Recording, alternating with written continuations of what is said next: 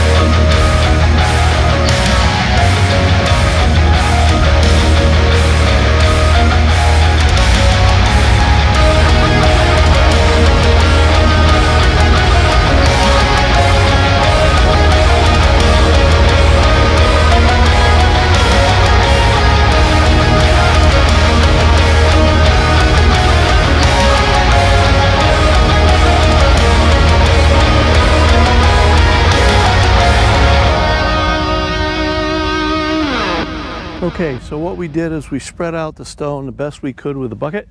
And uh, next step is I am going to uh, get a couple of poles, lay them out. Uh, not sure where I'm going to put my uh, conveyor if I actually end up splitting wood down here, but I'm probably going to put over that way the uh, the firewood poles, and uh, we'll hook up the grapple and continue on with that.